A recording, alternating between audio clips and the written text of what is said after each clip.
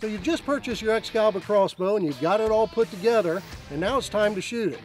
The first thing though guys, you don't want to be pulling back on the string by hand. It's a lot of weight and the problem with that is you're not going to have your string centered.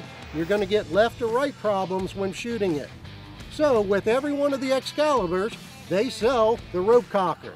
Now this is a block and tackle system, so it takes a lot less weight to pull it back. But what you do first is make sure your bow is on fire.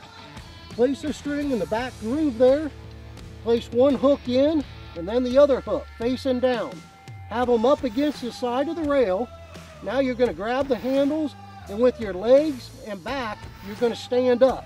Go past the anti-dry fire, you go all the way until you hear the click. Take your rope cocker off, and then place your weapon on safety.